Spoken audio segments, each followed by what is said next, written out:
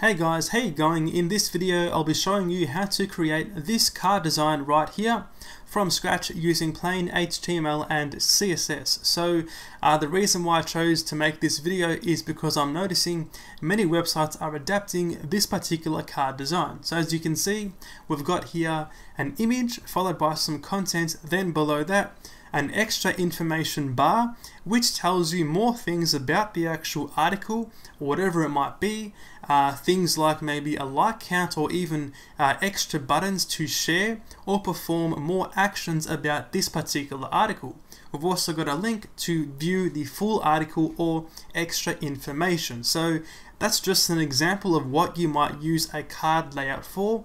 Um, and also this one is going to be responsive and also mobile friendly. As you can see it shrinks down to two columns and then a single column layout so we're also going to be using CSS grid to uh, create this layout so if you're not too familiar with CSS Grid, definitely stick around and watch this video, you might learn something. So anyway, let's go inside this tab right here and start from scratch uh, to create the card design. So inside the, uh, the uh, text editor, we can see here, this is the current state of the index.html file. So let's make a new file right here called cards.css. This will contain all of the CSS styling for the card layer okay?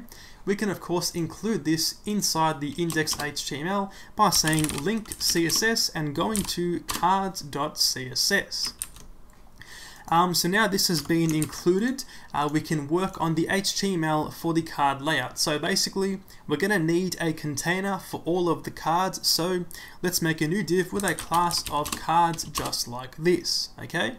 Um, also, for each particular card inside your container, so for example, if you have five cards, we're going to have five divs inside here with a class of card. So right here, this div represents a single card, okay? And inside here, we're going to create three main elements we need basically one element for the image, one for the content, and one for the extra information section on the bottom. So back inside here, let's make a new image with a class of card underscore underscore image just like this. Um, so image and uh, for the source I'm just going to uh, copy and paste a placeholder link on a separate screen here and paste it inside there okay so obviously this is a placeholder image you of course are going to include your actual image inside here um, so for the card content, let's make a div with a class of card underscore underscore content. So pretty straightforward. Inside the div, we're going to have two paragraphs, for example. So I'll copy and paste this right here into there. Okay, cool. Uh, so now for the last one, this will be the extra information bar. So we can say div with a class of card underscore underscore info. Inside here, of course, you might have the amount of likes or buttons to share and things like that. So for that, we're going to make a new div uh, and inside here, we're just going to say 310 likes just for now. In a few moments, I'll be showing you how to insert a thumbs up icon next to the amount of likes. But for now, let's put this inside a div. In a second div, we can put a link to the article. We can say A with a class of card underscore underscore link, set the href to be dot forward slash, so basically uh, a root relative URL, actually a relative uh, URL to index.html, so just go back to the same page. Inside the link text, we can simply say view article, for example. So that is the main chunk of the HTML to represent a single card. So it's quite straightforward. I might just save this here and refresh the browser and we can see right here we have this result. So now let's move on to inserting the thumbs up icon next to the amount of likes. So for this, as usual, I'm going to be using uh, Google Material Icon. So I'll leave a link to this in the description, but basically go to material.io, resources, icons, and we can see here, I've done a search so I've, I've done a search um, for thumb right here and scrolling down we can see I've, I've uh, chosen to use the thumb underscore up icon. So now I've chosen my icon. I can go inside uh, this developer guide right here. Also, I'll leave a link to this in the description. So on the developer guide, let's go down to the icons for web section and I'm going to copy and paste this link right here um, and put it inside my head tag. So we can paste that right there. Once again, I'll leave a link to that in the description. So now this is included, we can make use of that thumbs underscore up icon uh, right here. Sorry, thumb underscore up icon. Uh, so to achieve that, so we can go down to the 310 and make a new uh, i tag with a class of material dash icons. Inside here, I can say thumb underscore up. So once again, uh, really straightforward to use Google Material icons. So I'm going to save this here and refresh and now we get the actual icon appearing next to the amount of likes. So now the HTML is complete for the card layer. Uh, we can move on to doing the CSS. So uh, for this, let's go back inside here, inside the cards CSS file, and we can begin on the actual cards container. So we can target the class of cards and we can firstly say margin, zero, and auto. This is going to center the cards container on the web page. Okay, we can also say max width and make this 1000 pixels. Keep in mind that these two properties right here are not essential for this to work. So of course right here, this may differ for your own projects, but for mine, I'm going to be using these two properties. What is important though is a display of grid for the layout. Along with grid, we're going to say grid template columns and make this basically repeat 3 and then 1 FR. Essentially, this just means create a three column layout of equal width. Okay? We can also say gap and make the gap 20 pixels right there. Uh, for the font family, let's make this sans serif. Okay? Uh, so now I'm going to save this and refresh and we can see right here we get um, a very similar situation but hovering over the cards container in the DevTools we can see we get three columns okay? And we can also see that gap of 20 pixels between each one of the columns right there just in the middle. So uh, we can now move on to um, the actual card itself um, I do want to mention though real quick that we're going to be changing this property later on um, and uh, basically just adjust it so we have uh, responsiveness and mobile friendliness. But for now, let's keep it as repeat 3 and then 1 FR. Anyway, for the actual card itself, we can simply just say box shadow and make this set to 003px RGBA 000 and then 0.1. Of course, this is completely personal preference. I don't mind having box shadows under my cards. So let's save this and refresh and now we get a nice shadow just around the edges of each individual card. Okay?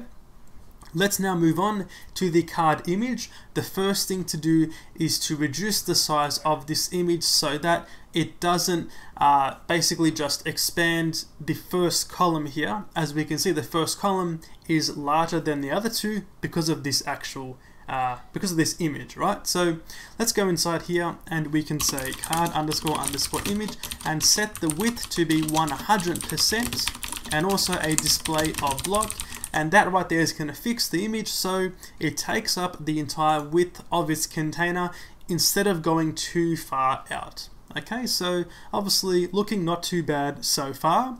We can move on to the card content. So that's basically all this stuff inside here. Let's target the class of card underscore underscore content. For this, we're going to say line height first up at 1.5. Um, I always like to include line height of at least 1.5 to aid in readability. I'm also going to say font size and make this 0.9 EM or 90% of the current font size a padding of 15px for some space around the edges, and also a background of a very light grey, so hash FA, FA, and then FA. Saving this and refreshing gives us this right here. So it looks not too bad so far, however, we need to remove this extra space up here between the image and the start of the paragraph. For that, we're going to be adjusting the margining on the paragraphs um, inside the content.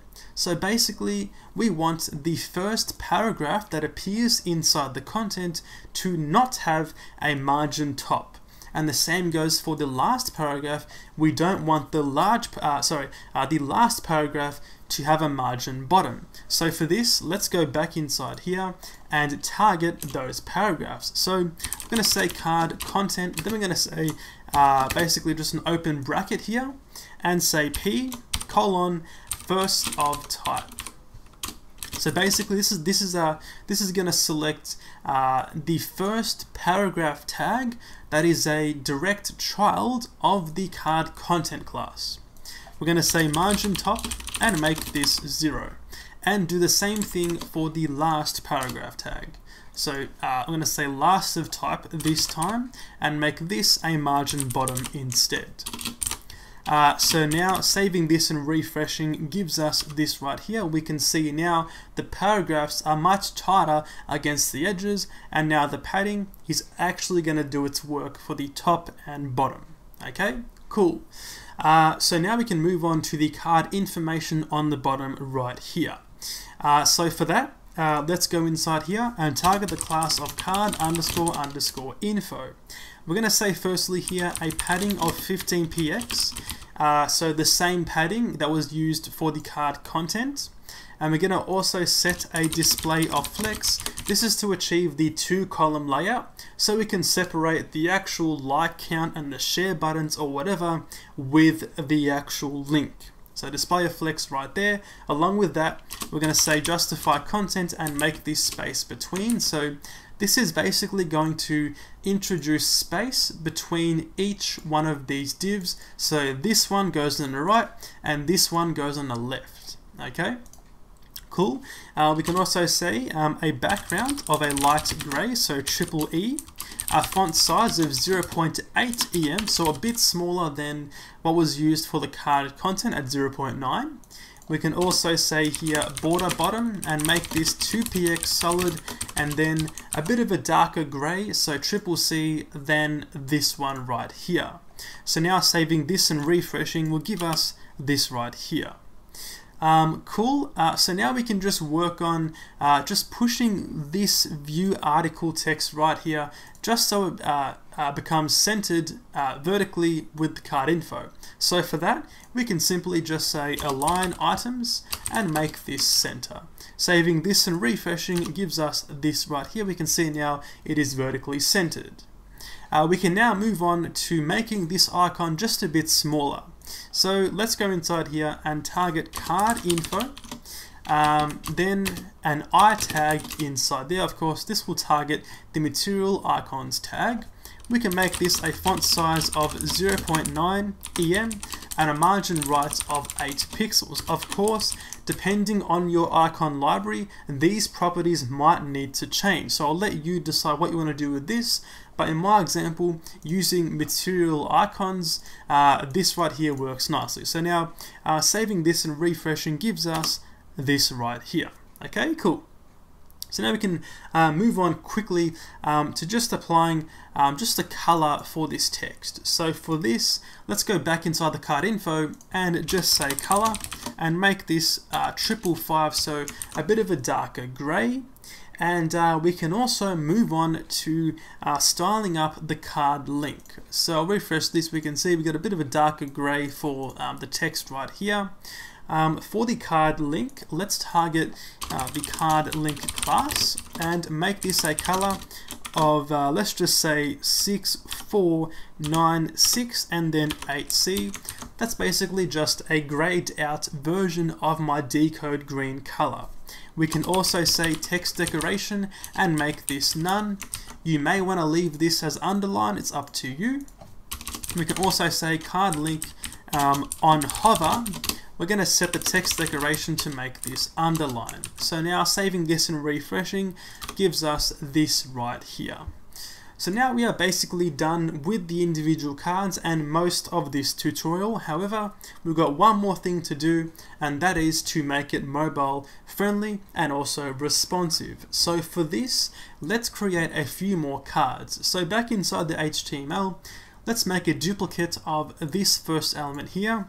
I'll do this one, two, three, four, four times. So now saving this and refreshing gives us four uh, sorry, five individual cards, okay? But of course now, um, if I was to uh, resize here, we can see it keeps resizing all the way down and obviously it is not very responsive or mobile friendly. Um, so uh, to fix this, we're going to change one line of the grid uh, CSS. So let's go back inside the CSS and we're going to change this right here, line number 5, grid template columns. And basically, we're going to change it from this 3, which means a fixed amount of columns, so 3 columns here fixed. We're going to change this to be auto-fill. And we're also going to change this to be min max and make this 225px and then 1fr. So essentially right here, I'll start with this section here. We're saying that the minimum width for each one of our columns is going to be 225 pixels and also the maximum is going to be 1 FR or one fraction of the available space. Okay, so with that being said, it means that our columns can vary in width between these two values, okay? This autofill changed from 3 means that now the browser is going to try and fit as many columns as it can on the actual um, or on each individual row and then if it can display um, a card on that row then it will if it can't it's gonna just change the width of each one of the other ones so it fills up a bit nicer.